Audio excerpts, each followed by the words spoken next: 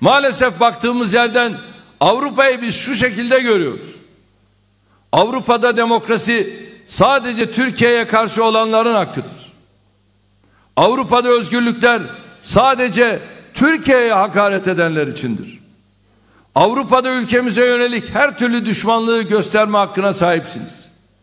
Buna karşılık Türkiye'nin lehine en küçük bir faaliyete kalkışırsanız salon tahsislerinin iptalinden sınır dışı tehditlerine kadar uzanan acayip bir yaptırımlar listesiyle karşı karşıya bulunursunuz.